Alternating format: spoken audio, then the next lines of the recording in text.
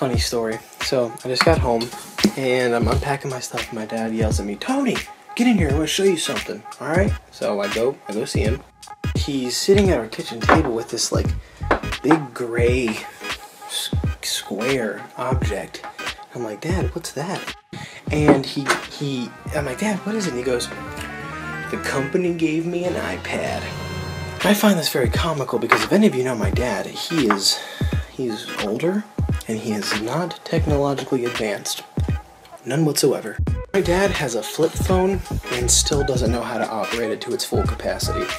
For the first two months of our new TV, he thought I was controlling it by voice operating.